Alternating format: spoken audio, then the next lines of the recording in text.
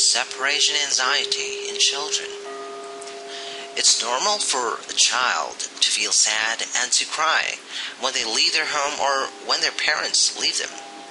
In fact, 4 out of 100 children experience separation anxiety, which can often be relieved by giving the child enough time to adjust to a new situation.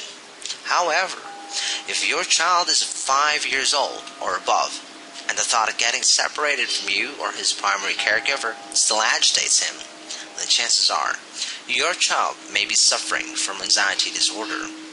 But how do you know if your child has separation anxiety disorder?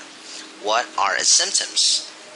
A child with this condition often has ridiculous fear that something bad may occur if you or a primary caregiver leaves him. He may think that he'll be kidnapped or taken away he may show fear when you put him in a separate room. Children with separation anxiety also fear that their caregiver may die, and they cannot fall asleep unless their caregiver is right next to them. They also have nightmares about separation, and they often throw temper tantrums and complain about stomachache or headaches. If you have a child that shows signs of separation anxiety disorder, it's best to go to a professional and seek for help. A professional can help your child learn skills that will boost his self confidence and make him more self reliant.